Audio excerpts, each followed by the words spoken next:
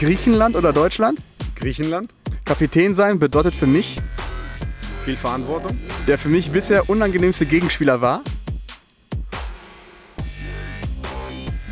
Max Dornbusch. Als Griechenland 2004 Europameister wurde, habe ich, Gefeiert ohne Ende. wenn ich mit Euskirchen in die Regionalliga aufsteige, dann werde ich Eine Ehrenrunde in Boxershorts zu laufen. Mein Ritual vor dem Spiel ist, Erst den linken Schienbeinschoner anziehen, dann den rechten.